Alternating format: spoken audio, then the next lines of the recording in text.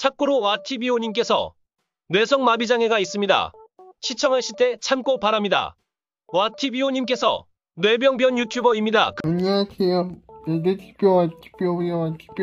뇌병변 유튜버 집에 있는 강아지 미르가 밤에 공원에서 가족들과 함께 산책을 하는 모습을 보여드리겠습니다.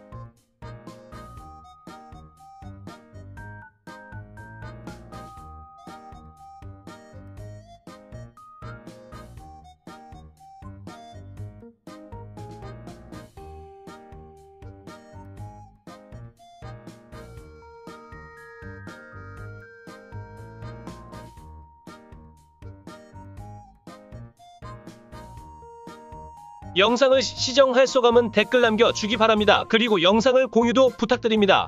여기서 마치겠습니다. 시청해주셔서 감사합니다.